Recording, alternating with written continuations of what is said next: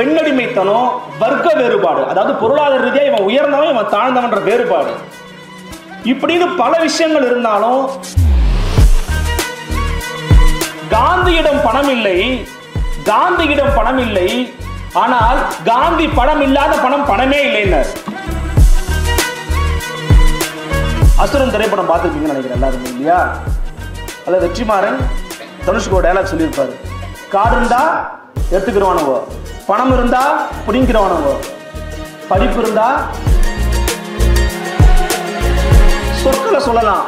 நான் ஆசிரியர்கிட்ட சொல்லிக்கிறது ஒரே ஒரு விஷயம்தான். புதுவான இடத்துல வச்சு பாராட்டுங்க. தனியா கூப்பிட்டு போய் திட்டுங்க. யாரா இருந்தாலும் சரி. இந்தியாவினுடைய அரசியல் சாசனத்தினுடைய தந்தை என போற்றப்படுகிற அண்ணல் அம்பேத்கரை பார்த்து உட்கார வருமா போயிட்டு கோணில ஃப்ரெண்ட்ஸே கூட சொல்லுவாங்க இல்லை வேற ஏதாவது சொல்லுவாங்க மச்சான் லைஃப் ரொம்ப சின்னது மச்சான் என்ஜாய் பண்ணலாம் மச்சான். லைஃப் ரொம்ப சின்னதுன்னுவான் கிடையவே கிடையாது. லைஃப் ரொம்ப பெருசுங்க. அண்ணா தான் படித்துக் கொண்டிருந்த புத்தகத்தை படித்து முடிப்பதற்காக தன்னுடைய இதய அறுவை சிகிச்சையை தள்ளி போட்டாரு.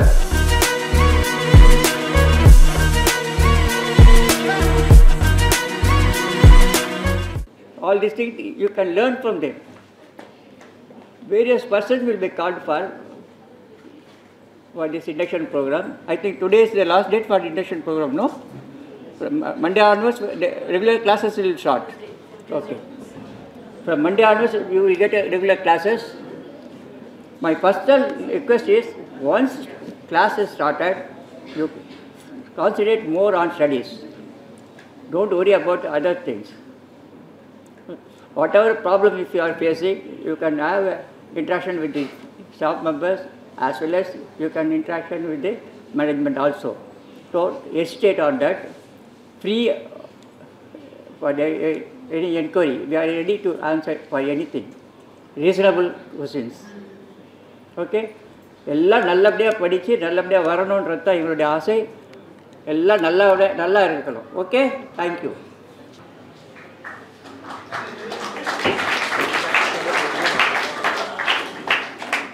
தேடி சோறு நிதந்தென்று பல சின்னஞ்சிறு கதைகள் பேசி மனம் வாடி துன்பமிக உழன்று பிறர்வாட பல செயல்கள் செய்து நரைகூடி கிழ பருவமைதி கொடுங்கூற்று கிரையன பின் மாயும் பல வேடிக்கை மனிதரைப் போல் நானும் வீழ்வேன் என்று நினைத்தாயோ என்ற முண்டாசு கவியின் முத்தான வரிகளை முதலாக்கி நானும் வீழ்வேன்னு நினச்சிட்டீங்களா? நான் விழமாட்டேன். பள்ளிக்கூடத்துக்கு பிறகு நான் கல்லூரியில் அடியெடுத்து வைப்பேன் அப்படின்னு சொல்லி இன்னைக்கு அடியெடுத்து வைத்திருக்கக்கூடிய உங்கள் அனைவருக்கும் முதல்ல ஒரு கைத்தட்டல கொடுத்துக்கோங்க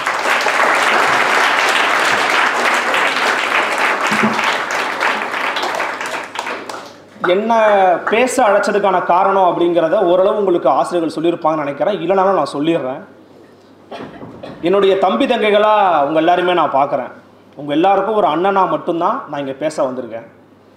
இங்கே எத்தனை பேர் முதல் தலைமுறை பட்டதாரிகள் அப்படின்னு கை தூக்குங்களேன். முதல் தலைமுறை பட்டதாரியா? வீட்டில் நான் ஃபர்ஸ்ட் டைமாக டிகிரி ஹோல்டராக வர சார் உங்கள் எல்லாருக்கும் சேர்த்து நீங்கள் எல்லாருமே சேர்ந்து முதல்ல கை கைத்தறல் கொடுங்க.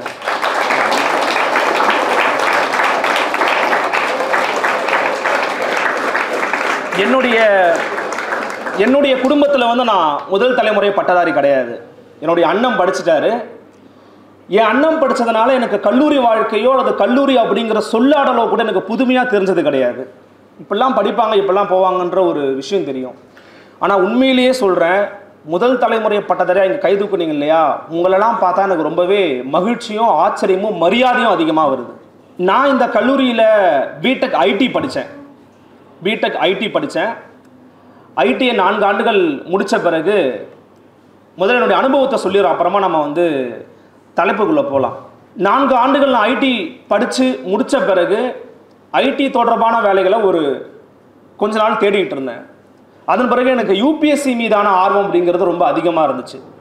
அதாவது இந்திய குடிமை பணிகள் தேர்வு ஐஏஎஸ் ஐபிஎஸ் ஐஎஃப்எஸ் போன்ற பதவிகளுக்கு தெருவாகக்கூடிய இந்த யூபிஎஸ்சி எக்ஸாம்ஸ் இந்த யூபிஎஸ்சி எக்ஸாமை தமிழ் வழியில் எழுதணும் அப்படிங்கிறது என்னுடைய நோக்கம் என்னுடைய ஆர்வம் என்னுடைய இலக்குன்னு சொல்லலாம்.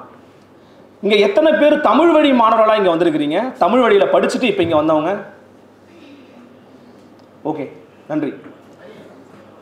தமிழ் வழியில் யூபிஎஸ்சி தேர்வு எழுத முடியும் அப்படிங்கிறது எனக்கு ரொம்ப தாமதமாகத்தான் தெரியும். தமிழ் வழியில் எழுதலாமா அப்படின்னு. அதன் பிறகு ஓராண்டு ஈராண்டு முயற்சியில் ஈடுபட்டேன். அதன் பிறகு எனக்கு அது கிடைக்கல. டிஎன்பிசியும் முயற்சி பண்ணிக்கிட்டு இருந்தேன். அப்போ தான் விகடனில் ஒரு வாய்ப்பு கிடைச்சது. விகடனுக்குள்ளே போகலான்னு முயற்சி பண்ணேன். அந்த நேரத்தில் ஆதன் மீடியா அப்படிங்கிற ஒரு ஊடகத்தின் வாயிலாக முத முதல்ல எனக்கு ஊடகத்தில் ஒரு வாய்ப்பு கொடுத்தாங்க. முதல் முதல்ல நான் அந்த ஊடகத்துக்குள்ளே போகும்போது அமேசான் அப்படிங்கிற ஒரு நிறுவனத்தில் ஒரு வாய்ப்பு இவ்வளவு சம்பளம். ஆதன் மீடியாவில் ஒரு வாய்ப்பு இவ்வளவு சம்பளம். ஒப்பீட்டளவில் ஆதனில் எனக்கு குறைவான சம்பளம்னு வச்சுக்கிறேங்க ஆனால் எனக்கான ஒரு பேஷன் ஒன்று இருந்தது எனக்கான ஒரு நோக்கம்னு ஒன்று இருந்துச்சு. என்னுடைய ஆர்வம்னு ஒன்று இருந்துச்சுல்ல? அந்த ஆர்வம் வந்து அமேசானில் போனால் எனக்கு நிறைவாகுமான்னு தெரியல. எனக்கு நிறைவாகாதுன்ற ஒரு உணர்வு இருந்துச்சு. அதனால் அதை விட்டுட்டு ஆதனுக்குள்ளே போனேன். என்ன முத முதல்ல உள்ளே போகும்போது இன்றைக்கி மேபி நீங்கள் எடுத்து சர்ச் பண்ணிங்கன்னா என்னுடைய வீடியோஸை நீங்கள் பார்க்கலாம். ஆனால் முத முதல்ல நான் உள்ளே போகும்போது ஒரு வாய்ஸ் ஓவர் ஆர்டிஸ்ட்டாக உள்ளே போனேன். வாய்ஸ் ஓவர் ஆர்டிஸ்ட்னா என்ன பொருள் அப்படின்னா உங்கள்கிட்ட ஒரு கண்டென்ட் கொடுத்துருவாங்க. அந்த கண்டென்ட்டை நீங்கள் பிழை இல்லாமல் எந்த திருத்தங்களும் இல்லாமல் ஏற்ற இறக்கங்களோட பொருள் புரியும் வகையில் படிக்கணும். வெறும் படிப்பு வாசிப்பு என்பதை தாண்டி உணர்வுகளை கடத்தணும் அப்படிங்கிறது தான் வாய்ஸ் ஓவர் ஆர்டிஸ்டோட மிக முக்கியமான ஒரு பணி. அந்த பணியை தான் எனக்கு முத முதல்ல கொடுத்தாங்க. சரி தம்பி நல்லா பேசுகிறா அப்படி கொடுப்போம் அப்படின்னு கொடுத்தாங்க. வாய்ஸ் ஓவர் ஆர்டிஸ்டாக கொஞ்ச நாள் இருந்தேன். என்ன இந்த பையன் இங்கேயே சுற்றிக்கிட்டு இருக்கான் அப்படின்னு பார்த்தாங்க என் மேலிடத்துலேருந்து. சரி இவனை மக்கள்கிட்ட அனுப்புவோம்னு சொல்லி இரண்டாயிரத்தி பத்தொம்போதாம் ஆண்டு நாடாளுமன்ற தேர்தலுக்காக நாற்பது தொகுதியையும் கவர் செய்யக்கூடிய ஒரு அருமையான ஒரு வாய்ப்பு கிடைச்சது. நாற்பது தொகுதிகளுக்கும் கேமராமேனோட மைக்கோட தூக்கிட்டு போனோம். மக்களுடைய கருத்தை கேட்டோம். ராகுல் காந்தியா மோடியா அப்படின்னு கேட்டோம். ஸோ இப்படி மக்கள் கருத்தை கேட்கக்கூடிய ஒரு ஒரு அனுபவம் கிடைச்சிது. ஸோ ஒரு கண்டென்ட்டை கொடுத்தா படிக்க தெரியும் அதை உள்வாங்க தெரியும் புரிஞ்சுக்க தெரியும் அதை வெளிப்படுத்த தெரியும். பிழை இல்லாமல் மக்களை அணுக தெரியும் ஏழைகள் பணக்காரர்கள் நடுத்தர வர்க்கம் அப்படின்னு எல்லா வர்க்க மக்களோட பழகக்கூடிய ஒரு வாய்ப்பு கிடைக்குது. அப்போ இதன் பிறகு என்னவா இருக்கும்னு நினைக்கிறீங்க? ஒரு விருந்தினரோட அமர்ந்து பேசுவது இல்லையா? நம்ம சக நண்பர்களோட எப்படி பேசுகிறோமோ அதே போல் விருந்தினர்களோட பேச முடியுமா அப்படிங்கிற அணுகுமுறைக்கான ஒரு வாய்ப்பு. அந்த வாய்ப்பு ஒரு கட்டத்துக்கு பிறகு கிடைக்குது. அது ஒரு போராட்டம்னு சொல்ல முடியாது. அது ஒரு படிநிலைன்னு சொல்லலாம். அந்த வாய்ப்பை பயன்படுத்துகிறேன் அந்த வாய்ப்பின் மூலமாக தமிழ்நாட்டினுடைய முன்னணி அரசியல் திறனாய்வாளர்கள் முன்னணி பத்திரிகையாளர்கள் தற்போது அமைச்சர்களாக திகழ்ந்து கொடு திகழ்ந்து கொண்டிருக்கக்கூடிய மரியாதைக்குரிய மாண்புமிகு அமைச்சர் தங்கம் தென்னரசு மாண்புமிகு அமைச்சர் கே என் நேரு மரியாதைக்குரிய அமைச்சர் பெருமக்கள் எம்எல்ஏக்களை நேர்காணல் செய்யக்கூடிய ஒரு வாய்ப்பு கிடைக்குது. நான் என்னுடைய வாழ்க்கையை திரும்பி பார்க்கும்போது நான் ஒவ்வொரு முறையும் எனக்கு சொல்லிக்கிறது ஒன்றே ஒன்று தான் நாம் இது எல்லாருமே சொல்லியிருப்பாங்க. இருந்தாலும் உங்களுக்கு சொல்கிறேன் அவமானங்களிலிருந்தும் தோல்விகளிலிருந்தும் தான் நீங்கள் வெற்றிக்கான சூத்திரத்தை கண்டுபிடிக்க முடியும். இது ரொம்ப நினைவில் வச்சுக்கணும் நீங்கள் நம்ம வாழ்க்கையில் வந்து வீட்டில் தோற்றுருப்போம் வீட்டில் அம்மா நம்மளை வந்து திட்டியிருக்கலாம். அல்லது இவெல்லாம் எங்கே படிக்க போகிறான் அப்படின்னு ஊர் பேசியிருக்கலாம். ஆனால் அந்த அவமானங்களும் அந்த தோல்விக்கான வார்த்தைகளும் தான் உங்களை வெற்றிக்கான படிக்கட்டுகளை நோக்கி நகர்த்தி கொண்டு போகும். இப்போது இந்த இந்த மாதிரி என்னுடைய அனுபவங்கிறது இருக்குது இன்றைக்கி நான் வந்து தனியாக ஒரு ஊடகத்தை துவங்கி நானும் நண்பர்களும் சேர்ந்து தனியாக ஒரு ஊடகத்தை ஆரம்பித்து அரசியல் திரை அப்படின்னு நகர்ந்து கொண்டு போயிட்டுருக்கோம் நான் என்னுடைய அனுபவம் அப்படிங்கிறது இதுதான். ஆனால் நான் என்ன தலைப்பில் பேசணும்னு நினச்சேன் அப்படின்னா இங்கே ஹேமா மேம் கூட சொல்லும்போது நான் சொல்லியிருந்தேன் மேம் ஒரு முக்கியமான தலைப்பில் பேசணும். ஏன்னா நான் உண்மையிலேயே வெளிப்படையாக சொல்கிறேன் நான் நிறைய பேரை நேர்காணல் எடுத்திருக்கிறேன். அத்தனை நேர்காணலுக்கு கூட நான் இன்னைக்கு ப்ரிப்பேர் பண்ண மாதிரி ப்ரிப்பேர் பண்ணதே கிடையாது. ஏன்னா நான் வந்து ஒரு அதிகாரத்தில் அமர்ந்த ஒரு அதிகார வர்க்கத்தோட தொடர்பில் இருக்கக்கூடிய தினசரி அரசியலை செய்யக்கூடிய ஒரு நபர்கள்ட்ட தான் பேச போகிறேன் அதனால் எனக்கு நடப்பு நிகழ்வுகள் மட்டும் போதுமானது. ஆனால் நீங்கள் எதிர்கால தலைவர்களாக வரப்போகிறவங்க அப்போ உங்ககிட்ட பேசும்போது இன்னும் கவனமாக பேசணும்னு நினச்சேன். உங்ககிட்ட இன்னும் கூர்மையாக பேசணும்னு நினச்சேன். அதனால தான் நான் சொன்னேன் வையத் தலைமைகொள் அப்படிங்கிற தலைப்பில் பேசலாம் மாணவர்கள்கிட்ட அப்படின்னு. வையத் தலைமைகொள் உலகத்திற்கு தலைமை தாங்கிறது குரல் கேட்குது உலகத்துக்கு தலைமை தாங்கிறது அப்படின்னு. நேரடியான பொருள் வைய தலைமைகள் என்பதற்கு நீங்கள் எடுத்துக்கொண்டால் இந்த உலகத்திற்கு தலைமை தாங்குவது ஒரு மண்ணை ஆள்வது ஒரு மக்களாட்சி அரசை நிறுவுவது என்று நீங்கள் பொருள் கொள்ளலாம். நேரடியான பொருள் அதுவாக இருந்தாலுமே கூட வைய தலைமைகள் என்பது அது மட்டும் அல்ல. உங்களுடைய துறையில் நீங்கள் முன்னணியில் வருகிறீர்களா? உங்களுடைய துறையில் நீங்கள் முன்னேற்றம் சார்ந்து நகருகிறீர்களா? வாழ்க்கை ரொம்ப ரொம்ப நீங்கள் இந்த கல்லூரிக்குள்ளே வரும்போது ஒரு தாழ்வு மனப்பான்மை இருக்கும். குறிப்பாக நான் ஒரு தமிழ் வழி மாணவர். எனக்குள்ள ஒரு தாழ்வு மனப்பான்மை இருந்துச்சான்னு கேட்டிங்கன்னா இருந்துச்சு. நம்ம தமிழ் வழியிலேயே படித்தோம் எப்படி ஆங்கிலத்தை உள்வாங்க போகிறோம் எப்படி படித்து பெரிய ஆளாக போகிறோம் ஆங்கிலத்தில் படித்தாதான் வேலை சோறுன்னு இந்த சமூகம் பேசிக்கிட்டு இருக்கு. என்ன பண்ண போகிறோம்னு யோசிச்சிருக்கேன். என் தம்பி தங்கைகளுக்கு சொல்கிறேன் ரொம்ப எளிமையான எடுத்துக்காட்டு. சந்திரயான் மூணு. எல்லாரும் பார்த்தீங்களா இந்தியாவை பார்த்து உலகமே பிரமிச்சதா? அந்த சந்திரயான் மூணினுடைய திட்ட இயக்குனர் யாரு? வீரமுத்துவேல். அந்த வீரமுத்துவேல் இந்த தமிழ் சமூகத்தில் கட்டமைக்கப்பட்ட சாதாரண அரசு பள்ளியில் தமிழ் வழியில் படித்து வந்தவர்தான். அதற்கு முன்னாடி இருந்த சந்திரயான் திட்ட இயக்குனர் யாரு? மரியாதைக்குரிய டாக்டர் மயில்சாமி அண்ணாதுரை. அந்த மயில்சாமி அண்ணாதுரை அவர்களும் சாதாரண அரசு பள்ளியில் தமிழ் வழியில் படித்து வந்தவர்தான். இந்தியாவினுடைய முன்னாள் குடியரசுத் தலைவர் ஐயா அப்துல் கலாம் அவரும் சாதாரண பாட்டாளி வர்க்க குடும்பத்தில் பிறந்து தமிழ் வழியில் படித்து வந்தவர்தான். ஆங்கிலம் என்பது ஒரு மொழி மட்டும்தான் அது அறிவு கிடையாது. வெள்ளை என்பது ஒரு நிறம் தான் அது அழகு கிடையாது. ஆனால் நீங்கள் உங்களுடைய தாய்மொழியில் நீங்கள் கல்வி கற்கிறீர்கள் என்றால் நீங்கள் திறமையான மாணவர்களாக உருவாகப் போகிறீர்கள் என்று பொருள். அதுக்காக ஆங்கில நான் குறை சொல்லலை. ஆங்கில மொழியில் படிக்கக்கூடிய மாணவர்களும் உங்களுடைய தாய்மொழியின் மீதான காதலை துறக்கக்கூடாது. எவனொருவன் தன்னுடைய தாய்மொழியில் தீரா பற்றும் மாறா பற்றுறுதியும் கொண்டிருக்கிறானோ அவனால் இந்த உலகத்தில் எந்த பாடத்தையும் கற்றுக்கொள்ளக்கூடிய அறிவை பெற முடியும். இந்த உலகத்தில் வென்றிருக்கக்கூடிய பெரும்பாலான தலைவர்கள் பெரும்பாலான முக்கியமான விஞ்ஞானிகள் அனைவரும் தங்களுடைய தாய்மொழியில் கல்வி கற்றவர்கள் தான். தமிழ் மொழியில் கல்வி கற்று இந்தியாவே திரும்பி பார்த்த பல தலைவர்களை உருவாக்கி இருக்கிறது தமிழ்நாடு. எனவே தலைமை பண்பு என்பதற்கு பலவிதமான கருத்தியல்களை உங்களுக்குள் நீங்கள் உருவாக்கிக் கொள்ளணும். இந்த நேரத்தில் தலைமை பண்பு நோக்கி நகர முடியுமா? நகர முடியும்.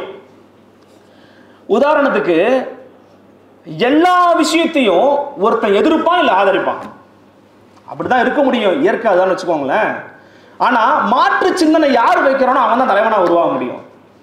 இன்னைக்கு யாரோட பிறந்த நாள் தமிழ்நாட்டினுடைய முதலமைச்சராக திகழ்ந்த பேரறிஞர் அண்ணாவினுடைய பிறந்த நாள் இன்னைக்கு. அண்ணா ஒட்டுமொத்தமாக பாருங்க உலகத்தினுடைய தத்துவமாக கம்யூனிசம் இருந்துச்சு. தமிழ்நாட்டுக்குள்ள சாதிய ஏற்றத்தாழ்வுகள் பெண்ணடிமைத்தனம் வர்க்க வேறுபாடு அதாவது பொருளாதார ரீதியாக இவன் உயர்ந்தவன் இவன் தாழ்ந்தவன்ற வேறுபாடு. இப்படின்னு பல விஷயங்கள் இருந்தாலும் அதை தொடர்ந்து வேறு இருப்பதற்கு பல தலைவர்கள் இங்கே உழைச்சிருக்கிறாங்க. கம்யூனிச தத்துவம் வந்து தோழர் அப்படின்னு கூப்பிடுவான். உலகத்தில் எந்த மூலையில இருந்தாலும் தோழர் அப்படின்னு கூப்பிடுவான். தமிழ்நாட்டுக்குள்ள அது அவ்வளவா ஒட்டாமல் இருந்துச்சு அல்லது ஒரு ஒவ்வாமை இருந்துச்சு. அப்போ அண்ணா என்ன பண்ணுறாரு எல்லாரும் தோழருங்கிறாங்க. மற்றவங்க வேற வேற பேரை சொல்லி சொந்தங்கள்னு சொல்கிறாங்க அவர் பேர் அண்ணாத்துறை தம்பிகளே அப்படின்னு நினச்சாரு. என்ன அர்த்தம்? நீ ஏன் ரத்தம்? நீ ஏன் சொந்தம்? நீ தம்பிடா நீ என் தம்பிடா நீ வாடா அப்படின்னு கூப்பிட்டாரு. அந்த ஒரு அழைப்பு இருக்குல்ல அந்த அழைப்பு இந்த மக்களுக்கு வித்தியாசமாக தோன்றியது. அதன் பிறகு வந்தார். தமிழ்நாட்டினுடைய முதலமைச்சராக திகழ்ந்த மரியாதைக்குரிய ஐயா கலைஞர் மு. கருணாநிதி வந்தார். அவர் ஒரு வார்த்தையை பயன்படுத்துவார். என்ன வார்த்தை? உடன்பிறப்பு. தெரியுமா? உடன்பிறப்புன்னு ஒரு வார்த்தையை பயன்படுத்துவார். இப்போ இது சின்ன வேறுபாடு இருக்கு. அண்ணா தம்பின்னு அழைச்சது வெறும் ஆண்களை மட்டும்தானே? அவர் தங்கைன்னு கூப்பிடல தங்கன் கூப்பிட்டாரா அவரு? கூப்பிடல. அப்போ கலைஞர் யோசிக்கிறாரு உடன்பிறப்புன்னு கூப்பிட்டா அதுல ஆணும் வருவாங்க பெண்ணும் வருவாங்க ஒரு திருநங்கை வருவாங்க ஒரு திருநம்பி வருவாங்க. யாரா இருந்தாலும் நீ என் உடன்பிறப்புடா அப்படின்னு சொன்னாரு. ஸோ தலைவர்களுக்கான அடையாளம் என்பது மக்களை எப்படி அரவணைக்கிறார்கள்? மக்களை எப்படி அணுகுகிறார்கள்? அவருடைய சிந்தனை போக்கு என்பது எதை நோக்கி இருக்கிறது என்று பார்க்கிற போதுதான் அவர்கள் தலைவர்களாக உருமாறுகிறார்கள். தலைவர்களாக இருப்பதற்கான நிறைய ஆஹ், தத்துவங்களை பார்க்கலாம். ஆனா ஒரு அதிகாரம் இருந்தால் தான் தலைவராக முடியும் நீங்க நினைக்கிறீங்களா? நெல்லை ஜெயந்தா ஒரு அழகான ஒரு கவிதை எழுதியிருப்பாரு. காந்தியிடம் பணம் இல்லை காந்தியிடம் பணம் இல்லை ஆனால் காந்தி பணம் இல்லாத பணம் பணமே இல்லைன்னார். காந்தியிடம் பணம் இல்லை. காந்தி பணம் இல்லாத பணம் பணமே இல்லை. அந்த காந்தி இந்தியாவினுடைய எந்த அரசியல் கட்சியை உருவாக்கி தலைவனாக சொல்லுங்க? அந்த காந்தியை இந்த இந்தியா என்றாவது வாங்க ஐயா நீங்க பிரதமர் ஆகணும்னு கூப்பிட்டாங்களா? வாங்க ஐயா நீங்க குடியரசுத் தலைவர் ஆகணும்னு கூப்பிட்டாங்களா? கிடையாது. ஆனால் அவர் ஏன் இந்த ரூபாய் நோட்டு தாளில் இருக்கிறார் என்றால் இன்ன வரைக்கும் இருக்கிறார்னு மகிழ்ச்சி கொள்ளணும் நம்ம. அது வேற விஷயம். ஆனா அந்த காந்தி மக்கள் தலைவனாக இருந்தார். மக்களை ஒருங்கிணைக்கக்கூடிய சக்தி பெற்றவராக இருந்தார். மக்களோடு மக்களாக இருந்தார். அதனால் அவர் தலைவராக போற்றப்பட்டார். தமிழ்நாட்டில் ஒருத்தர் ஐயா பெரியார் இருந்தார். ஐயா பெரியார் மறைகிற போது தமிழ்நாட்டு முதலமைச்சர் அரசு மரியாதை செலுத்தணும்னு சொல்றாரு. உடனே நடுவண் அரசு கிட்ட இருந்து ஒரு கேள்வி வருது. ஏங்க என்னங்க எந்த ஒரு அரசியல் பொறுப்புலையும் இல்லை ஒரு அதிகாரத்தில் இல்லை ஒரு பதவியில் இல்லை. அந்த பெரியாருக்கு எதுக்குங்க நீங்கள் வந்து மரியாதை செலுத்துறீங்கன்னு கேட்கும்போது நீங்கள் எப்படி எந்த பொறுப்பிலும் எந்த அதிகாரத்திலும் இல்லாத காந்திக்கு அரசு மரியாதை செலுத்தினீர்களோ அதே போலவே மக்கள் தலைவன் பெரியாருக்கு நாங்கள் அறிய மரியாதை செலுத்துகிறோம்னு சொன்னார் அண்ணா. இல்லை மன்னிக்கிறோம் கலைஞர். மக்கள் தலைவர்களாக உருவாகக்கூடியவர்கள் இருக்கிறார்கள் பார்த்தீங்களா? அவன் என்னன்னைக்குமே மக்கள் மத்தியில் பேசப்படுபவராக இருந்துக்கிட்டு இருப்பாங்க. எல்லாரும் ஒரு வாக்கியத்தை சமீப காலங்களில் சொல்லக்கூடியதை கேட்க முடியும். அதிகமான பேர் இல்லை. இப்போ படிப்பு தான் வாழ்க்கைன்னு இல்லைப்பா. படிப்பு தான் வாழ்க்கையாப்பா அப்படின்னு சொல்லுவான் தயவு செஞ்சு நம்புறாதீங்க ஆயிரம் பேர் ஜெயிக்கிறாங்க லைஃப்ல அப்படின்னா அதில் பத்து பேர் இல்லை இருபது பேர் படிக்காமல் வந்திருப்பான். எக்ஸம்ஷன் அது. ஆனால் தொள்ளாயிரத்து தொண்ணூறு பேர் படித்து தான் மேலே வந்திருப்பான். புரிஞ்சுதுங்களா உங்களுக்கு? தொள்ளாயிரத்து தொண்ணூறு பேர் நீங்கள் ஒருத்தனாக வர்றதா சுலபம் அதுதான் இயற்கையும் கூட. அந்த பத்து பேர் இருக்கான் பாருங்க. நான் படிக்காமலே மேலே வந்துட்டேன் அப்படின்னு. அந்த பத்து பேர் கூட மேலே வந்த பிறகு தயவுசெஞ்சு படிக்கடா அப்படிம்பா நான் படிக்காதனால கஷ்டப்பட்டேன். படிக்காமல் இருந்துடாதீங்க அப்படின்னு சொல்லுவான். அதனால் படிப்பு கல்வி என்பது உங்களுடைய வாழ்க்கையை மட்டுமல்ல இந்த சமூகத்தின் வாழ்க்கையை புரட்டி போடுவதற்கு காத்து கொண்டிருக்கிறது.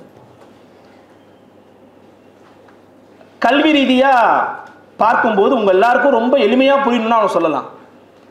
அசுரன் திரைப்படம் பார்த்துருப்பீங்கன்னு நினைக்கிறேன் எல்லாருமே இல்லையா? அல்ல வெற்றிமாறன் தனுஷ்கோ டயலாக் சொல்லியிருப்பாரு. கார் இருந்தா எடுத்துக்கிறவானுவோ பணம் இருந்தா பிடிங்கிறவானுவோ படிப்பு இருந்தா யாராலையும் பிடுங்க முடியாது. அந்த படிப்பை வச்சு உனக்கு எவன் கெடுதல் செஞ்சானோ அவனுக்கு ஒரு நாளும் நீ திருப்பி செஞ்சிடாத. பகைய வளர்க்காத தம்பி கடந்து போன்னு சொல்லுவார். அதே போலதான்.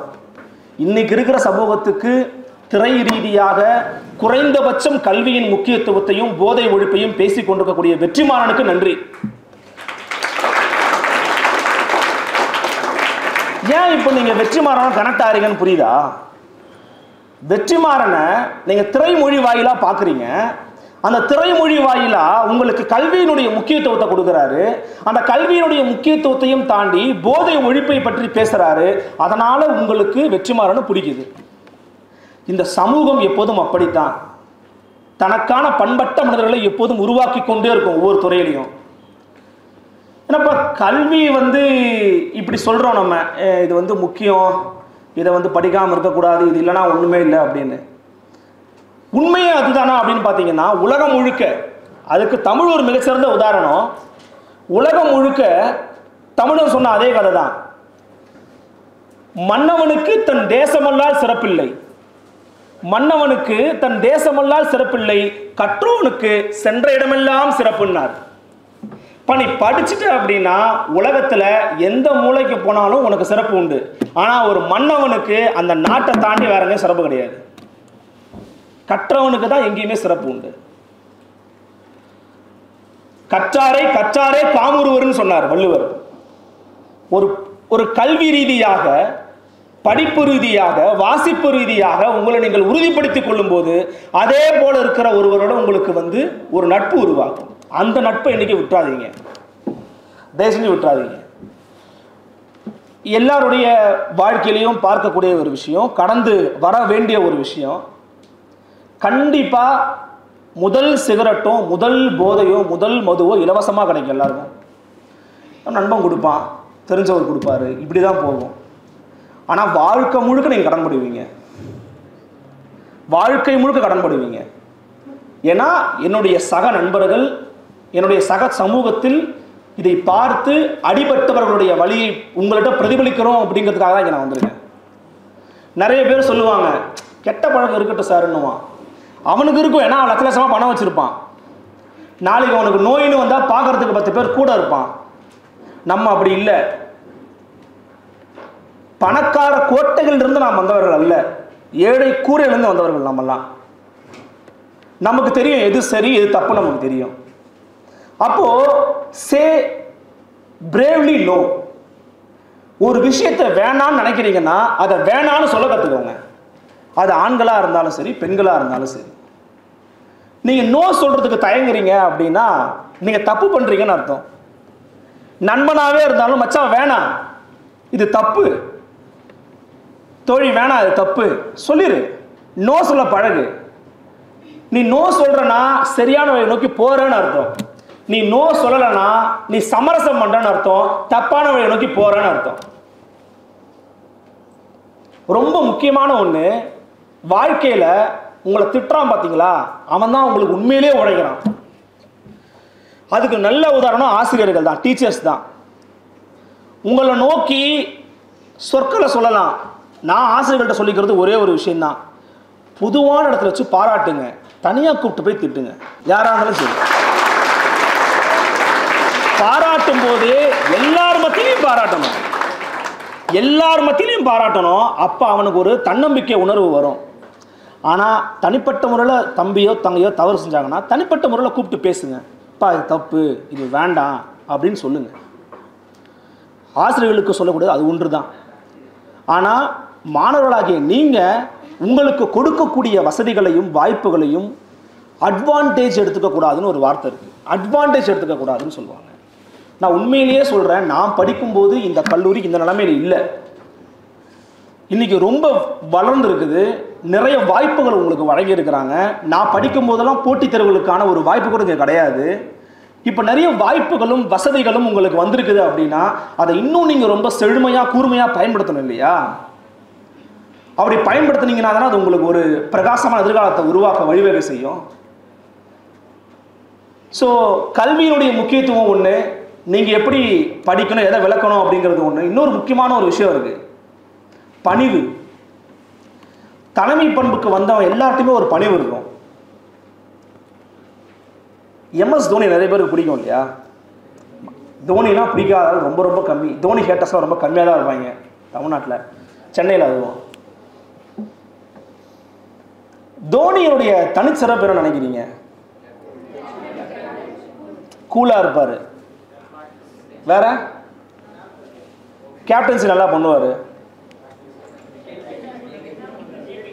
Down to earth okay matter என்னன்னா தோனி கிட்ட வந்து நீங்கள் ஒரு முக்கியமான விஷயத்த கற்றுக்கணும் அவர் கேப்டன்சியாக இருந்து தலைமை பண்பலாக வளர்த்துக்கிட்டாலுமே கூட ஒரு கோப்பை ஜெயிக்கிறாங்கன்னு வச்சுக்கோங்களேன் அந்த கோப்பையை அவர் கையில் வச்சிருக்கவே மாட்டார். அவர் ஏதோ ஒரு ஓரத்தில் இருப்பார் ஒன்று வலது ஓரத்தில் இருப்பார் இடது ஓரத்தில் இருப்பார். இவங்க பவுலர்ஸு ஃபீல்டர்ஸு மற்ற கலீக்ஸ் எல்லாம் தூக்கி கொண்டாடுவாங்க. ஒரு தலைவனுடைய அழகு என்பது பணிவில் தான் இருக்குது. நீங்க நல்ல நல்ல ஒரு ஒரே ஒரு கதை மட்டும் கொண்டாடு சொல்லிடுறேன். ஒரு விவசாயி இருந்தார். அந்த விவசாயிக்கு ஒரு பையன் இருந்தா அப்படி அவர் வந்து ஒரு குதிரையை வளர்த்துக்கிட்டு இருந்தார். அந்த குதிரை வந்து காணாமல் போயிருச்சு. அந்த குதிரை வச்சு தான் அவருக்கு வந்து வேலைகள் நடந்துக்கிட்டு இருக்கு. ஊர் மக்கள்லாம் வந்து சொல்கிறாங்க என்னப்பா உனக்கு குதிரை வேற காணாமல் போயிருச்சு. என்ன பண்ண போகிற அவ்வளோதான் உன் வாழ்க்கையும் முடிஞ்சு போச்சா? அப்படிங்கிறாரு. இருக்கலாம்பா அப்படின்ட்டு கடந்து போகிறாரு திருப்பியும் கொஞ்ச நாள் கழிச்சு ரெண்டு வாரம் கழிச்சு அந்த ஸ்- போன குதிரை மூணு குதிரையை கூட்டு வந்துருச்சு. உடனே ஊரில் சொல்கிறாங்க ஏ செம லக்கி பாண்டின்னு நாலு குதிரை வச்சுருக்க நல்ல வியாபாரம் பண்ண போகிற சூப்பர் லைஃப் என்ஜாய் பண்ண போகிற அப்படிங்கிறாங்க. அவர் சொல்கிறாரு இருக்கலாம்பா அப்படின்றாரு. கொஞ்ச நாள் கழிச்சு அந்த குதிரையோட போகும்போது அவன் பையன் கீழே வந்து அவன் கால் உடஞ்சி போச்சு. வீட்டுக்கு கூப்பிட்டு வராங்க. ஒன்று எல்லாரும் சொல்கிறாங்க என்னப்பா உன் பையன் கால் உடஞ்சி போச்சு. இதுக்கப்புறம் ஆறு மாதத்துக்கு சோத்து தண்ணிக்கு கஞ்சிக்கு இல்லாமல் அலைய போகிற நீ அப்படிங்கிறாங்க. இருக்கலாம்பா அப்படிங்கிறாரு. கொஞ்ச நாள் கழித்து நாட்டில் வந்து போர் அறிவிக்கிறாங்க. போர் அறிவிக்கும் போது நல்லா இருக்கிற இளைஞர்கள்லாம் கூப்பிடுறாங்க. அப்போ இந்த வீட்டில் இந்த தம்பியை கூப்பிடலன்னா கால் உடஞ்சி போச்சு. சுக்கப்பட முடியாது. அப்போ பக்கத்தில் இருக்கலாம் சொல்கிறாங்க நல்ல வேளை உன் பையன் கால் உடஞ்சி போச்சு உன்னை கூப்பிடல. உயிர் மிச்சம். இருக்கலாம்பான்றார். நினச்சி பாருங்க அவர் சொன்ன பதில் ஒன்று தான் ஆனால் நிகழ்வுகள் வேற வேற. நீ உன்னுடைய வாழ்க்கையின் உச்சத்துக்கே போகலாம். ஆனால் ஒரே மாதிரி இரு. நீ உன் வாழ்க்கையினுடைய சறுக்கின் கடைசி பகுதி கூட போகலாம். ஆனாலும் ஒரே மாதிரி இரு. கண்டிப்பாக நீ உயர்வதற்கான வழியை ஏதோ ஒரு வகையில் இந்த நாடு செய்யும். உலகத்தினுடைய பெரும்பாலான மக்களால் பின்பற்றக்கூடிய மதங்களா கிறிஸ்தவமும் இஸ்லாமும் இருக்கு. நாட்டு மக்களின் அடிப்படையில் சொல்றேன். இயேசுவை தலைவராக ஏற்றவர்கள் நிறைய பேர். ஏன் அவர் தலைவராக அவருடைய கடைசி மரணத்துக்கு முன்னாடி ஒரு ஒரு ஃபோட்டோ நீங்கள் பார்த்துருப்பீங்க. பதிமூணு தன்னுடைய சீடர்களுக்கு வந்து ஒரு ஒரு பணிவிடை செய்வார். அவர் வந்து ஒரு தலைவர் அவர் ஒரு அவங்க எல்லாருக்குமே ஹெட் பொசிஷனில் இருக்கார் இயேசு. அப்போ அவங்க பதிமூணு பேரோட காலையும் கழுவி விடுறாரு. அவங்க காலை கழுவிட்டு தன்னுடைய மேல் அங்கீரால் துடைக்கிறாரு அவர். உடனே கேட்குறாங்க என்னப்பா நீங்கள் போயிட்டு எங்களுடைய காலை கழுவுறீங்க? நீங்கள் எவ்வளோ பெரிய ஆள் நீங்கள் இதை பண்ணலாமா? அப்படின்னு கேட்குறாங்க நான் எப்படி என்னுடைய நிலையிலிருந்து இறங்கி நான் தலைவன் நான் போதகன் அப்படிங்கிற சிந்தனை இல்லாமல் என்னுடைய தொண்டர்களின் கால்களை கழுவுவதற்கு தயாராக இருக்கிறேனோ அதே போல நீங்களும் உங்கள் சக தொண்டர்களின் கால்களை கழுவுவதற்கு தயாராக இருங்கள்னாரு அதுலேருந்து நம்ம தெரிஞ்சுக்க வேண்டியது ஒன்றே ஒன்று தான் பணிவு. மனுஷன் பணிவாக இருந்தார் அப்படின்னா கண்டிப்பாக தலைமை பொறுப்புக்கு தகுதியானதாக தன்னை வளர்த்துக்க முடியும். மிக முக்கியமானது நேரம். வாழ்க்கையில் பில்கேட்ஸை கூப்பிடுங்க. அதானியை கூப்பிடுங்க அம்பானியை கூப்பிடுங்க. உனக்கு ஒரு கோடி ரூபாய் பணம் தரேன். இல்லை இருபத்தி நாலு மணி நேரம் நேரம் தரேன்னா எதை சூஸ் பண்ணுவாங்க? நேரத்தை சூஸ் பண்ணுவான். ஏன்னா அந்த இருபத்தி நாலு மணி நேரத்தில் அவனுக்கு ஒரு கோடிங்கிறது ஒரு பைசா மாதிரி. Usain Bolt. நூற்றி நாற்பது கோடி இந்திய மக்கள் தொகையை கொண்டிருக்கக்கூடிய நம்ம கிட்ட இருந்து ஒரு உசைன் போல்ட்டை கூட உருவாக்க முடியல. ஆனால் தம்மா தூண்டு ஜமைக்காலந்து உசைன் போல்ட் உருவாயிருக்கிறாரு. அந்த உசைன் போல்ட்டுக்கு மிக முக்கியமானது என்ன தெரியுமா? நேரம் தான் அவரும் அவருடைய இன்னொரு சகநாட்டு வீரரும் ஓடிக்கிட்டு இருக்காங்க அந்த பந்தயத்தில் அவர் ஜெயிக்கும் போது சீரோ புள்ளி சீரோ ஒன்று வினாடியில் ஜெயிச்சாரு. அவருக்கு தெரியும் உண்மையிலேயே நேரத்தின் அருமை என்ன அப்படின்னு. அப்படின்னா அந்த நேரத்தின் அருமையை நீங்கள் கண்டிப்பாக தெரிஞ்சுக்கணும். உங்களுடைய வாழ்க்கையில இந்த கல்லூரி பருவம் இருக்குல்ல இது ரொம்ப ரொம்ப ப்ரீஷியஸான ஒரு டைம் நிறைய பேர் சொல்லியிருப்பாங்க நீங்க கேட்டிருப்பீங்க டென்த் எக்ஸாம் வரும். பா டென்த்து மட்டும் பாஸ் பண்ணிரு லைஃபே சூப்பர் ஆயிரும். நீ டென்த்து மட்டும் பப்ளிக் எக்ஸாம் சூப்பராக பண்ணிரு வேற லெவலில் இருப்பேன்னுவாங்க அடுத்து டுவெல்த் எக்ஸாம் எழுதுவோம். லெவன்த்து வேறு இருக்குன்னு நினைக்கிறேன். நான் படிக்கும்போது லெவன்த்துக்கு இல்லை. டுவெல்த் எக்ஸாம் எழுதுவோம் அதுதான்ப்பா லைஃப்னுவாங்க கல்லூரிக்கு வரும்போது பா செம்ம ஜாலியாக இருக்கலாமான்னுவாங்க. மகிழ்ச்சியாக இருக்கணும். நான் அதை தவறுனே சொல்ல மாட்டேன். ஆனால் அந்த மகிழ்ச்சி நீ எதில் போய் தேடுறங்கிறது தான் உன்னுடைய சிறப்பு இருக்குது அப்போது டென்த்து டுவெல்த்து முக்கியம் கேட்டால் முக்கியம்தான். ஆனால் அதை எல்லாவற்றையும் விட முக்கியம் கல்லூரி தான். கல்லூரி நாட்களை யார் ஒருவர் சிறப்பாக பயன்படுத்துகிறார்களோ அவர்கள் வாழ்வில் பெரும்பாலும் வெற்றி பெற்றிருக்கிறாங்க. பெரும்பாலும் வெற்றி பெற்றிருக்கிறாங்க. நான் சொல்கிறேன் நீங்கள் எல்லாத்தையுமே மாற்றி பார்க்கணும்னு சொன்னோம்ல அதுக்கு அண்ணா ஒரு சிறந்த எடுத்துக்காட்டு. ஏன் அண்ணாவை பற்றி சொல்ல எனக்கு அண்ணாவோட பர்த்டேங்கிறதுனால அவரை பற்றி ஒரு விஷயம் சொல்கிறேன் தமிழ்நாட்டில் இருமொழி கொள்கைன்னு ஒன்று இருக்குது தெரியும் இல்லையா? தமிழ் ஆங்கிலம் தான் நம்ம படிப்போம். இந்தியா முழுக்க மும்மொழி கொள்கை அமலுக்கு வருது. இந்தியா முழுக்க மூன்று மொழிகளை படித்தாகணும் இந்தியை படித்தாகணும் அப்படிங்கிறாங்க. பெரும்பாலும் ஏற்றுக்கிட்டாங்க சில எதிர்த்தாங்க அப்புறம் ஏற்றுக்கிட்டாங்க தமிழ்நாடு ஒரே ஒத்த கால நிற்கிறாப்படி என்னென்ன? இந்திய வேணான்னு இல்லை. ஏன் இந்தின்னு முதல்ல சொல்லு. இது வித்தியாசமான கேள்வியில் அவங்களுக்கு. என்னப்பா இவன் ஏன் இந்தின்னு கேட்குறான் நம்மளை பார்த்து? இதுக்கு எப்படி ஆன்சர் பண்ணுறதுன்னு தெரியல அவங்களுக்கு. எப்பா இந்தியாவில் அதிகமான பேர் ஹிந்தி பேசுகிறாங்க போப்பான்னாரு. அப்படிலாம் சொல்லி நீங்கள் சொல்லக்கூடாது. புள்ளி வருங்களை பார்த்து அது தப்புன்றது வேற கதை. நீங்கள் அப்படிலாம் சொல்லிடக்கூடாது ஏன்னு சொல்லுங்க நீங்கள் முதல்ல. தமிழ் மொழி என்பது இன்று இந்தியாவில் புழக்கத்தில் இருக்கக்கூடிய பல நூறு மொழிகளை விட செம்மொழித்தன்மை வாய்ந்தது. பல மொழிகளுக்கு தாயாக விளங்கி கொண்டிருக்கிறது. பல மொழிகளை உருவாக்கி இருக்கிறது. பல மொழிகளோட தொடர்பில் இருக்கிறது. அந்த தமிழ் மொழியை விட தமிழ் இலக்கியத்தில் இருக்கக்கூடிய பல பண்பாட்டு கூறுகளை விட பண்பாட்டு விடுமயங்களை விட எந்த வகையில் உங்களுடைய மொழி மேலானதுன்னு சொல்லுங்கன்னு கேட்குறாரு அவங்கள்ட்ட பதில் இல்லை. இவர் ஒன்று இன்னொரு கேள்வி கேட்குறாரு. எப்பா உலகத்தோட எப்படி தொடர்பு கொள்ள போறீங்க? ஆங்கிலம் இங்கிலீஷ் இருக்கு பிரிட்டிஷ்காரன் வந்து ஆண்டு போயிட்டு ஆங்கிலத்தை தொடர்பு கொள்வோம். எப்பா உலகத்தோட தொடர்பு கொள்ள உங்களுக்கு ஆங்கிலம் இந்தியாவோட தொடர்பு கொள்ள இந்தியா உங்களுக்கு? அதே ஆங்கிலத்தை இங்கேயே பயன்படுத்திட்டு போ. அதாவது கோழி போறதுக்கு வேற வழி கோழி குஞ்சு போறதுக்கு வேற வழியா வைப்பாங்க. எப்ப கோழி போற வழியே கோழி குஞ்சும் போயிடும்பா எதுக்குப்பா? அவனுக்கு பதில் இல்லை. என்னடா வித்தியாசமா சிந்திக்கிறாங்க அவங்க அப்படின்னு. அதே மாதிரி தான் ஒன்று கேட்டார். இன்னைக்கு இந்திய தா இந்திய வந்து தேசிய மொழி எப்படி அறிவிக்க முடியும்? எல்லாம் நிறைய பேர் பேசுகிறாங்க எப்படி நிறைய பேர் பேசுகிறாங்க இந்தியாவில் நிறைய காக்கா இருக்குது காக்கா வச்சு தேசிய பறவை நீனு இப்போ எது தேசிய பறவை? மயிலை வைக்கிற. ஏன் அந்த மயிலுக்கான சிறப்பு இயல்புகள் இருக்கு? அதே போல தான் நீ இந்தியாவின் தேசிய மொழியாக வைக்க வேண்டும் என்றால் தமிழை வைகின்னு பேசியிருக்கிறாங்க பாராளுமன்றத்தில். எனில் வித்தியாசமான சிந்தனைகளும் வித்தியாசமான போக்குகளும் தான் ஒரு தலைவனை உருவாக்குகிறது. நீங்க சிந்திக்கிற சிந்தனை மற்றவங்களோடவே சேமா இருக்கு அப்படின்னா நீங்க ஒண்ணுமே இல்லை. நீங்களும் ஒரு சாதாரண ஒரு பிரஜை தான். ஆனா நீங்க வித்தியாசமா ஒரு விஷயத்த பாக்குறீங்க அப்படின்னா அது எடுத்து நீங்க சொல்லணும். நான் இந்த விஷயத்த வேற மாதிரி பார்க்குறேன். எனக்கு வேற ஒரு சிந்தனை இருக்கு.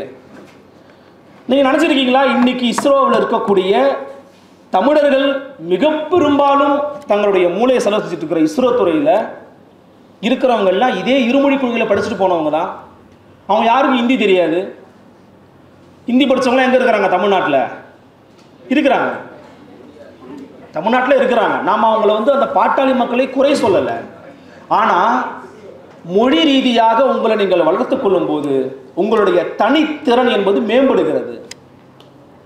தனித்திறன் மேம்படும் போது உங்களுடைய பொருளாதாரம் மீதான பார்வை மாறுபடும்.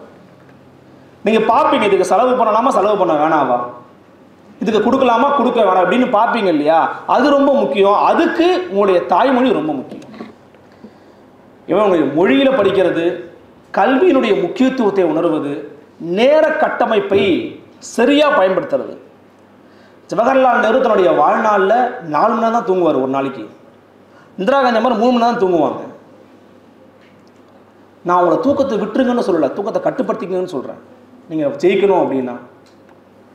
எப்படி உங்களாம் பண்ணாலும் எழுதுவாங்க படிப்பாங்க உரையாடல் செய்வாங்க அந்த உரையாடலை நீங்கள் வளர்த்துக்கங்க. மிக முக்கியமான ஒரு விஷயம் நான் என்னுடைய தமிழர்களுக்கு சொல்கிறது எனக்கு சொல்கிறதுக்கு சில பேர் இருந்தாங்க ஆனால் எனக்கு முன்னாடி இருக்கவங்க யாருமே இல்லை. தினசரி கட்டாயமாக செய்தித்தாளை வாசிங்க.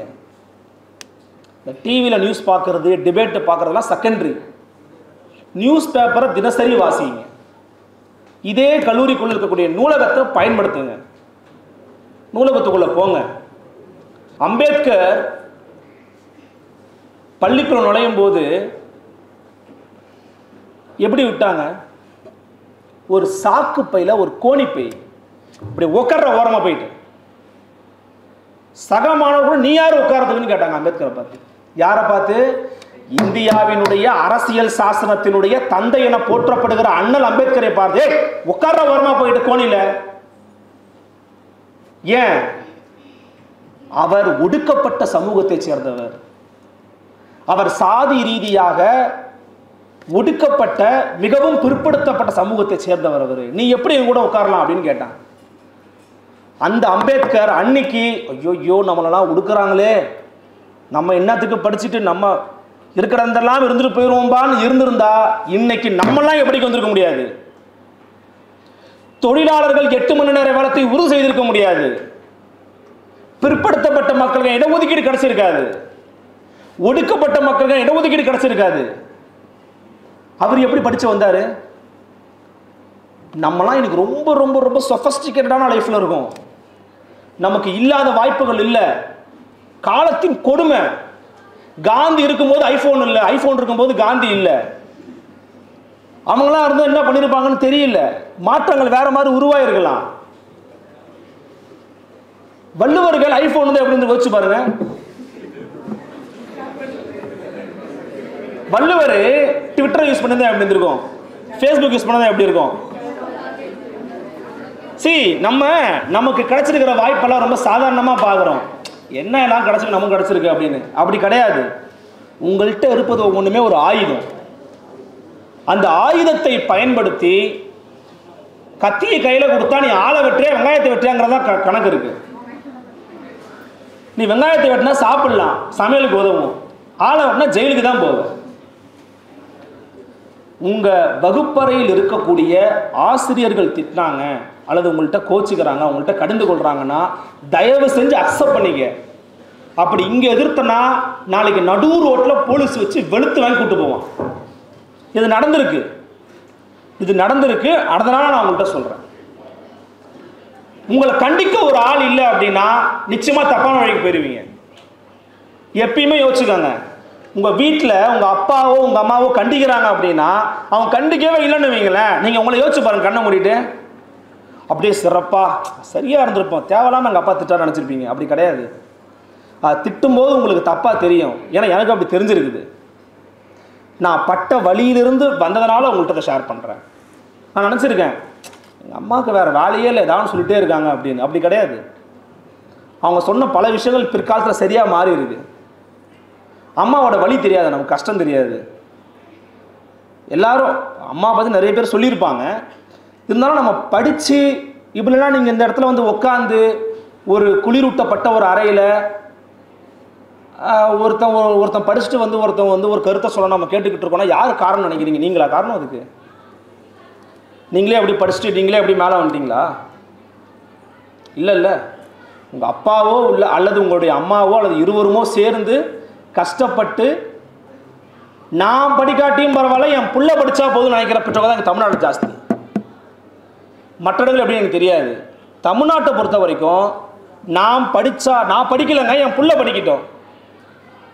சமீபத்தில் கேள்விப்பட்டீங்களா நீங்கள் ஒரு அம்மா தன்னுடைய குழந்தைகளுடைய கல்வி கட்டணம் நாற்பதாயிரமோ இருபத்தஞ்சாயிரமோ கட்ட முடியலன்னு பேருந்து முன்னாடி போய் தற்கொலை பண்ணிக்கிட்டாங்க. தற்கொலை பண்ணி செத்து போனாங்க. ஏன்? என் பிள்ளைய படிக்க வைக்க முடியலேங்கிற ஆதங்கத்தில் செத்து போச்சு அந்த அம்மா. ஆனால் உங்களுக்கு ஒரு வாய்ப்பு கிடச்சிருக்கு. நீங்கள் திருப்பி செய்யணும். என்னென்னு செய்யணும்? உங்கள் அப்பாவையும் உங்கள் அம்மாவையும் உட்கார வச்சு அம்மா என்னை இம்புட்டு நாள் நீ படிக்க வச்சு ஆளாக்கியிருக்கீங்க. நீங்கள் உட்காருங்க. இதுக்கப்புறம் உங்களுக்கு நல்லா ஆகணும் வேலை நான் பார்க்குறேன். அப்படின்னு நீங்கள் சொல்லணும். சொல்லுவீங்கல்ல? ஏன்னா நீங்கள் தமிழ்நாடு மட்டுமே எப்பயுமே அந்த தனித்துவமாக இருக்கும். நம்ம கொடுத்த மாதிரி கல்விக்கு முக்கியத்துவத்தை வேறு எந்த மாநிலமும் கொடுக்கல. இன்றைக்கு இன்றைக்கு தமிழ்நாட்டில் இருக்கக்கூடிய பள்ளிக்கூடங்களில் காலை சிற்றுண்டி கொடுக்குறாங்க. கேள்விப்பட்டிருப்பீங்கல்ல? உங்களுக்கு தம்பி தான் நீங்கள் கேள்விப்பட்டிருப்பீங்க கொடுக்குறாங்க. இந்த காலை சிற்றுண்டி உணவு எப்படிங்க நீங்கள் கொடுக்குறீங்க? அப்படின்னு கொடுக்கப்பட்ட இரண்டாவது நாள் அண்டை மாநிலமான தெலுங்கானா வந்து வந்து ஆய்வு பண்ணிட்டு போகிறாங்க ஏன்? எங்கள் ஊரில் நாங்கள் கொடுக்குறோம். பசங்க படிக்க வர மாட்டேங்கிறாங்க அரசு பள்ளிக்கு. எப்படி கொடுக்குறீங்க? பார்க்குறோம் அப்படிங்கிறான். இதற்கெல்லாம் முன்னோடி திட்டம் என்ன? மதிய உணவு திட்டம் நீதிக்கட்சி ஆட்சியில் போடப்பட்டது. அதன் பிறகு எம்ஜிஆர் அதற்கு முன்னாடி ஐயா காமராஜர். இப்படின்னு கல்வி கற்பதற்கான வாய்ப்புகளை உருவாக்க வேண்டும் இந்த மாணவர்கள் பள்ளிக்கூடத்துக்கு வர வேண்டும் என்று எண்ணக்கூடிய எண்ணிய தலைவர்களும் தத்துவங்களும் தான் தமிழ்நாட்டில் அதிகம். அவங்க போராடினது எல்லாமே உங்களை படிக்க வைக்கணுங்கிறதுக்காக தான். வேற எந்த விஷயத்துக்காகவும் போராடலை. மொழி வழி போராட்டமும் அதற்காகத்தான். இருமொழி கொள்கையும் அதற்காகத்தான். சரிப்பா இந்தி இருக்கிற ஒரு ஸ்டேட் எடுத்துக்கப்பா. மும்மொழி கொள்கை இந்தி இருக்குது. வட இந்தியாவில் ஒரு ஸ்டேட் இருக்கு. தமிழ்நாடு இருக்குன்னா Tamil Nadu is progressive state Tamil Nadu ஒரு முன்னேறிய மாநிலங்களில் ஒன்று. எப்படி முன்னேறிச்சு? இந்தி படிச்சா? இல்லையே. நாங்கள் தாய்மொழியான தமிழை படித்தோம் உதவக்கூடிய மொழியான ஆங்கிலத்தை படித்தோம் முன்னேறி வந்திருக்கோம். ஆங்கிலத்தை நீங்கள் உள்வாங்கும் போது அது ஒரு கடினம் அது ஒரு கஷ்டம்னு தயவு செஞ்சு உள்வாங்காதீங்க. இறையன் பையா சொல்லுவார் அவருடைய நண்பர் ஒரு ரொம்ப சின்ன ஒரு மேல்நாயக்கன்பட்டியோ சம்திங் ஒரு ஊர். அந்த ஊரில் படிச்சுட்டு இன்னைக்கு வெளிநாடு போய் செட்டில் ஆகுறாரு. அவரோட நம்பர் இவர் மிஸ் பண்ணிட்டாரு. ஃபோன் பண்ணி ஒருத்தர் நுனிநாக்கு ஆங்கிலத்தில் பேசுகிறாரு நுனிநாக்கு ஆங்கிலம். இறையன்பு யாரும் தெரியுதா? அப்படின்னு அவர் எதிரில் கேட்குறாரு அப்புறம் தான் அவர் உணர்ந்திருக்கிறார் இப்போ நம்ம நண்பர் தான் அப்படின்னு. அவர் சொல்றாரு நுனிநாக்கு ஆங்கிலம் பேசுவது என்பது கடினமான ஒன்று அல்ல. அது ரொம்ப டஃப்பான விஷயம் டஃப் ப்ராசஸ் கிடையாது நீங்கள் பேசிடலாம். ஒரு மூணு மாதம் அஞ்சு மாதம் எடுத்தால் பேசிடலாம். அண்ணா கிட்ட சொன்னாங்க இதே மாதிரியோ அஞ்சு மாதம் போதுங்க. இந்தி படிக்கிறதுக்கு எனக்கு தெரியும். அதில் அவ்வளோதான் இருக்குது அவ்வளோதான் இருக்குது அஞ்சு மாதத்தில் படிச்சிடலாம். ஆனால் தமிழ் அப்படி கிடையாது. உங்கள் உணர்வோடு உங்கள் உடலோடு உங்கள் உயிரோடு தொடர்புடைய மொழி. ஆங்கிலத்தில் மட்டும் இப்போ டேரக்டர் சார் பேசிட்டு போனார். அதில் நானும் கேட்டிருக்கேன் ஆங்கிலத்தில் பேசுகிறவங்கள கேட்டிருக்கேன். மைண்டோட ஸ்டாப் ஆயிரும். உங்கள் இதயத்தோட தொடர்புபடுத்துக்காக தான் நான் தமிழில் பேசிகிட்டு இருக்கேன். உங்கள் நெஞ்சோட கலக்கணும். ஒரு விஷயத்தை நீங்கள் நெஞ்சு கருவில் வச்சு பார்க்கும்போது தான் அது சரியா தப்பான்னு தோணும். அது மைண்ட்லேயே இருந்துச்சுன்னா அப்படியே விட்டுருவீங்க. கல்வி வேலைவாய்ப்பு பொருளாதாரம் இந்த மூணையும் உங்கள் மைண்டுக்குள்ளே வச்சுக்கிட்டு உங்களுடைய வாழ்க்கையினுடைய போக்கை உருவாக்குங்க. படித்தா இன்னொருத்திட்ட தான் போய் வேலை செய்யணும் அப்படிங்கிற கட்டாயம் கிடையாது. இன்னொன்று சொல்லிடுறேன். கேம்பஸ் செலக்ட் ஆகலைன்னா நம்ம லைஃபே போச்சு நினைக்கவே நினைக்காதீங்க. அப்படிலாம் ஒன்றும் கிடையாது. கேம்பஸ்ங்கிறது உங்களுக்கு கொடுக்கப்படக்கூடிய ஒரு வாய்ப்பு.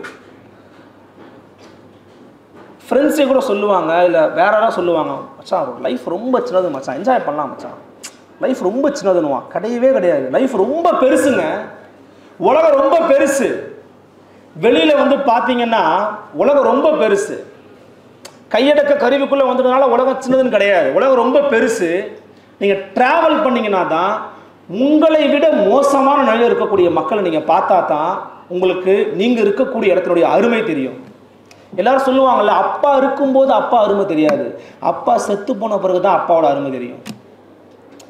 அம்மா இருக்கும்போது ஆச்சு மூச்சுன்னு கத்திருப்போம். ஆனால் அம்மா இல்லாத போது தான் கை கால் உடம்பு முடியாமல் இருக்கும்போது சோறு விட்ட அம்மா இல்லைன்னு தோணும்.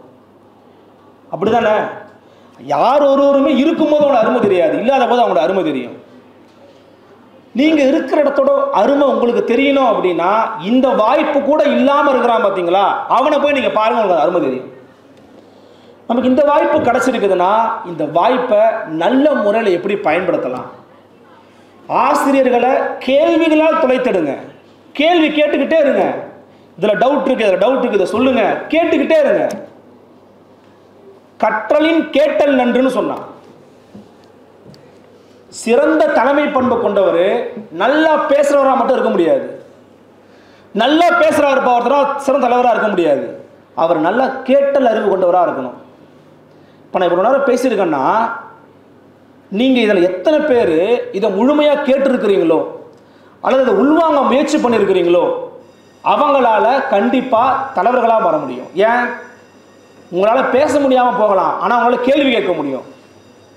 இது சரியா தப்பா அப்படின்னு பார்க்கக்கூடிய அனலிட்டிக்கல் திங்கிங் உங்களுக்குள்ள வந்துருச்சு அப்படின்னா நீங்கள் கண்டிப்பாக ஜெயிச்சிட முடியும். நேரம் சமூகம் வாழ்க்கை உங்களுக்கு கற்றுக் கொடுக்கக்கூடிய விஷயங்களும் நிறைய இருக்குது இந்த நாடும் இந்த சமூகமும் அடுத்த கட்டமாக பலவிதமான சமூக சூழ்நிலைக்கு நகர்ந்துக்கிட்டு இருக்காது மோசமோ நல்லதோ? உங்களுக்கு புரியும் நான் நம்புகிறேன் படிப்பதற்கான வாய்ப்புகளை தடுக்கக்கூடிய போக்குகள் இப்போ நாட்டில் அதிகமாகிருச்சு நீட் தேர்வு வந்திருக்குது. இன்னைக்கு சாதாரணமாக என் தம்பியோ என் தங்கையோ உங்கள் தம்பியோ உங்கள் தங்கையோ போயிட்டு பன்னெண்டாம் வகுப்பு பாஸ் பண்ணிவிட்டு போய் மருத்துவராக முடியாது. அதுக்கு ஒரு தடை வந்திருக்குது. நாளைக்கு இது இன்ஜினியரிங் தேர்வுக்கு வரலாம். கேட்டால் தகுதிம்பான் உன்னை ஃபில்டர் பண்ணுறாம்பான் காரணம்னா நீ எல்லாம் படிக்கிறியா? நீ எல்லாம் படிக்க வேண்டியா ஃபஸ்ட்டு அப்படிங்கிற சிந்தனை போக்கு இருக்கு. அதிகார வர்க்கத்தில் நீங்கள் அமராத வரைக்கும் உங்களை இந்த அதிகாரம் அமுக்கிக் கொண்டே இருக்கும். அதான் அம்பேத்கர் சொன்னார் நான் ஒரு சட்டத்தை உருவாக்கியிருக்கேன். ஆனால் அந்த சட்டத்தை படித்து மேலே வந்து அந்த சட்டத்தில் நீ அமர்ந்தா மட்டும்தான் அது நல்லவற்றுக்கு பயன்படும். இல்லாண்ட இல்லாட்டி போச்சுன்னா நடுராத்திரியில் பணம் டிமானிட்டைஸ் ஆகிடும் இல்லாட்டி போச்சுன்னா மாநில உரிமைகள் பறிக்கப்படும் ஜிஎஸ்டி வரும். அதனால தான் சொல்கிறோம் உங்களுடைய இந்த காலச்சூழல் ரொம்ப ரொம்ப முக்கியமானது. நீங்கள் அடுத்த கட்டத்தை நோக்கி நகரும் போது உங்களுக்கான வாய்ப்புகள் உங்களுடைய அடுத்த தலைமுறைக்கு கிடைக்குமான்னு தெரியாது. அதனால் படியுங்க. செஞ்சுவக்கத்தின் மீது லெனின் பேசும்போது ஒன்று சொன்னார். மூணே மூணு கேள்வி கேளுங்க அப்படின்னு சொல்கிறார் லெனின். ஒரு இளைஞர் இருந்துச்சு நாங்கள் என்ன பண்ணணும் அப்படின்னு கேட்குறாரு படி. ஒரு முதியவர் இருந்துச்சு கேட்குறாரு நாங்கள் என்ன செய்யணும்? படி. ஒரு பெண்மணி கேட்டாங்க நாங்கள் என்ன செய்யணும்? படி. அவர் சொன்னது ஒன்று தான் நான் இந்த நாலு வருஷத்தை முடிச்சுட்டேங்க. படிப்பு முடிச்சிட்டாங்க அப்படின்னு தயவு செஞ்சு ரொம்ப ரொம்ப ரொம்ப தப்பான விஷயம். நீங்கள் மேலே படிக்கலாம் எம்பிஏ பண்ணலாம். அது பண்ணலாம். அது படிச்சுன்னா படித்து முடிச்சிட்டிங்களா? பிஎஸ்டி பண்ணுறீங்க முனைவர் பட்டம் வாங்கிறீங்க படித்து முடிச்சிட்டிங்களா? கிடையாது. படிப்பு என்பதும் கல்வி என்பதும் அறிவு என்பதும் சாந்துணையும் வரணும் அப்படிங்கிறார் வள்ளுவர். சாகும் வரைக்கும் நீ படிங்கிறார் வள்ளுவர். நீ சாகிற வரைக்கும் கல்வியை கத்துக்கிட்டே இருப்போங்கிறார் வள்ளுவர். அதனால்தான் சாந்தனையும் கற்ற கல்வி. மரணத்தை தருவாய் வரைக்கும் படிக்கணுங்கிறாரு. பகத்சிங் தூக்கு கயிற்றின் மேடை ஏறும்போது இருங்க ஒரு புத்தகத்தை முடிக்க போகிறேன் படிச்சுட்டு வரேங்க அப்படிங்கிறாங்க. அந்த படிச்சு என்ன பண்ண போறாரு அவரு? சாகத்தான் போறாரு. இருங்க நான் புத்தகத்தை படிச்சுட்டு வரேன் அப்படின்னாரு. அண்ணா தான் படித்து கொண்டிருந்த புத்தகத்தை படித்து முடிப்பதற்காக தன்னுடைய இதய அறுவை சிகிச்சையை தள்ளி போட்டார். இருங்க நான் அந்த புத்தகத்தை படிச்சுட்டு வரேன் அப்படின்னாரு. நீங்கள் படிக்க வேண்டியது வெறும் கல்லூரி கல்வி மட்டுமல்ல இந்த கல்லூரி பாடங்களை தாண்டிய சமூக கல்வியை நீங்கள் கற்க வேண்டும். சமூகத்தின் தலைவர்களை அடையாளம் காண வேண்டும். சாதியும் மதமும் சமயமும் பொய்யென ஆதியில் உரைத்த அருட்பெருஞ்சோதி என்று இந்த தமிழ் சமூகத்தை பண்படுத்துவதற்காக தோன்றியவர் வள்ளலார். உங்களுக்கு புரியும் நினைக்கிறேன். சாதி மதம் சமயம். சாதியும் மதமும் சமயமும் பொய் என்று ஆதியில் உரைத்த அருட்பெருஞ்சோதி. வரலாறு சொல்கிறார் என்ன பொருள்? இன்னைக்கு சாதியால் மதத்தால் சமயத்தால் பிளவுபடுத்தக்கூடிய சக்திகள் உருவாகி கொண்டிருக்கக்கூடிய வேலையில் நீங்களாம் அடுத்த கட்டத்துக்கு வந்துட்டீங்க. எனக்கு தெரிஞ்சு இன்னும் கொஞ்ச நாள் ஓட்டு போட போவீங்கன்னு நினைக்கிறேன் இல்லையா? இன்னும் ஒரு ரெண்டு ஆண்டுகள் இருக்கலாம். சாதியால் மதத்தால் சமயத்தால் உங்களை பிளவுபடுத்தக்கூடிய சக்திகள் வந்திருக்குது அப்படின்னா அந்த சக்திகளை நீங்கள் எப்படி முறியடிக்க முடியும்னு நினைக்கிறீங்க? படித்தா கண்டிப்பாக முறியடிச்சிருவீங்க. உங்களுக்கு கல்வி இருக்குது நீங்கள் நல்லா படிக்கிறீங்க உங்களுக்கு சமூகத்தை புரிஞ்சுக்க முடியுது அப்படின்னா நல்லவன் யாரு கெட்டவன் யாருன்னு தெரிஞ்சு போயிடும் அவங்க பின்னாடி நீங்கள் போக மாட்டீங்க. அல்லது அவங்களால உங்களை அரவணைக்க முடியாது. அதுக்கும் தேவை கல்வி. சி கல்வி வந்து உங்களுடைய தனிப்பட்ட வாழ்க்கையை முன்னேற்றுவதற்கு மட்டுமல்ல உங்களுடைய தனிப்பட்ட வாழ்க்கையில் நீங்கள் பணக்காரர்களாகவும் மேட்டுமை பொருந்திய மக்களாகவும் உருவாறுவதற்கு மட்டுமல்ல இந்த சமூகத்தை பண்பட்ட சமூகமாக மாற்றுவதற்கும் கல்வி தேவைப்படுது. இல்லையா? அம்பேத்கர் தானே பண்ணார்? பழனி பாரத் சொல்லுவார் சாதிதான் சமூகம் என்றால் வீசும் காற்றில் விஷம் பரவட்டும்னாரு. அப்படிப்பட்ட சமூகத்திலிருந்து வந்தவர் அண்ணல் அம்பேத்கர். சுத்தி பார்த்தா ஒருத்தம் கூட அவரை மதிக்கல. தண்ணி குடிச்சா தீட்டுங்கிறான். கூட அமர்ந்தா தீட்டுங்கிறான். ஆனால் இவன் தொட்டா தீட்டு பார்த்தா தீட்டுங்கிறான். ஒட்டுமொத்த பேரையும் மாத்திட்டாரு. இன்னைக்கு என்ன? ஒரு தேட்டருக்கு போறீங்க. என்ன சீட்டுன்னு தானே கேட்குறீங்க என்ன ஆளுங்க கேட்குறீங்களா கேட்டிங்கன்னா பளிச்சுன்னு ஒன்று வைப்பான். இல்லையா? பேருந்தில் போகிறோம் எல்லாரும் சமாதானம் அமர்ந்துட்டு போகிறோம் இது போன்ற சூழல் உங்களுடைய மூதாதர்கள் இருக்கும்போது இல்லை. அப்பனா இப்போ இருக்கு. அப்போ இந்த சூழலை எப்படி அடுத்த கட்டத்துக்கு கொண்டு போய் நகர்த்தணும்? எப்படி மாற்றணும் அதை நோக்கி நீங்கள் சிந்திக்கணும். கல்லூரியில் படிக்கக்கூடிய இந்த நான்காண்டு படிப்பு மட்டுமே கல்வி அல்ல. அதையும் தாண்டி இருக்கிறது கல்வி. அந்த கல்வியை நீங்கள் திறம்பட கற்று நல்ல மேட்டுமை பொருந்திய பண்பு பொருந்திய ஒரு மாணாக்கராக நீங்கள் உருவானீங்கன்னா இந்த சமூகத்துக்கு அப்துல் கலாம் சொன்ன மாதிரி நிறைய தலைவர்களை உருவாக்கிடலாம். அவர் ரெண்டாயிரத்தி இருபதுல வந்து வல்லரசு ஆயிடுவோம் அப்படின்னு சொல்லியிருந்தார் ஐயா ஒரு தடவை. சரி வல்லரசு அப்படிங்கிறத தாண்டி முதல்ல நல்ல அரசா உருவாகணும் நம்ம இல்லையா? ஒரு நல்ல அரசை உருவாக்கணும் அப்படின்னா என் கண்ணு முன்னாடி இருக்கிற உங்களை பார்த்து சொல்கிறேன் உங்களை போன்ற நல்ல மாணாக்கர்கள் நல்ல தலைவர்களாக உருவாகணும். தலைவர்களாக உருவானீங்க அப்படின்னா நீங்களும் இந்த வையத்தை ஆளலாம். நன்றி வணக்கம்.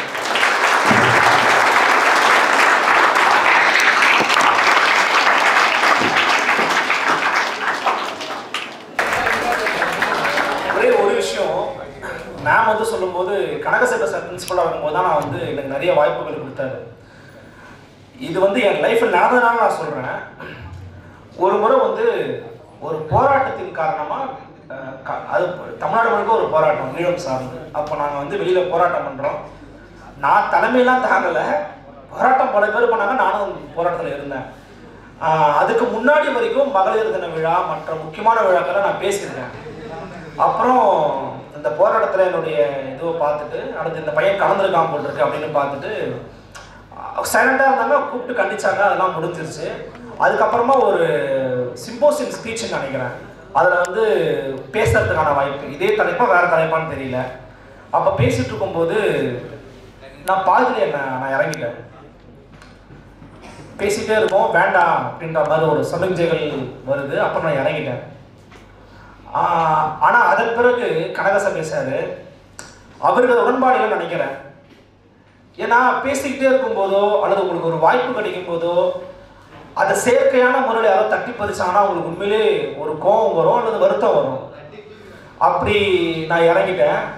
அதன் பிறகு பல மேடைகளில் பல கல்லூரிகளுக்கு பல மாவட்டங்களுக்கு அதில் போய் பேசட்டும் அப்படின்னு எனக்கு வாய்ப்பு கொடுத்தது இதே கல்லூரி தான். அதனால அதே கல்லூரி மீண்டும் நீங்கள் வந்து பேசுங்க அப்படின்னு கூப்பிட்டதில் எனக்கு ரொம்ப மன மகிழ்ச்சி உங்கள் செலுத்தல ரொம்ப மன மகிழ்ச்சி கண்டிப்பாக கொஞ்சமாக நான் பிரயோஜனமாக பேசியிருப்பேன்னு நினைக்கிறேன். நல்லபடியாக வாங்க வாழ்த்துக்கள். நல்லாவே பேசுறீங்க.